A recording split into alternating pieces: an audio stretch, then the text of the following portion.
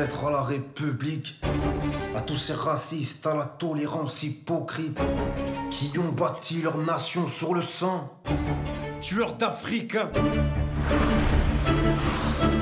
Tu cours comme ça?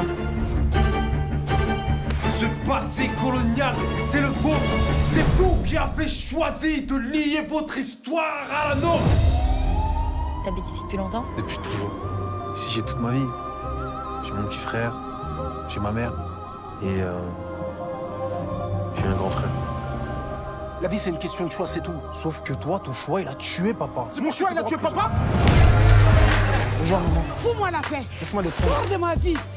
Je n'ai rien à voir avec toi. de détermination, car ceci n'est pas une Maman, moi, au lieu de parler, tu veux de l'oseille, va le chercher. J'ai trop honte, Ngonké. Lui là, il suit le même chemin que l'aîné. Et je vais maintenant vous révéler le sujet de votre débat. L'État est-il seul responsable de la situation actuelle des banlieues en France? Vous avez la parole.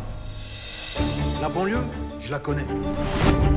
Lorsque deux banlieusards plongés dans le trafic de drogue entrent dans une guerre pour des raisons strictement pécuniaires et que cette guerre aboutit à la mort de l'un d'entre eux, est-ce l'État qui fournit l'arme à l'assassin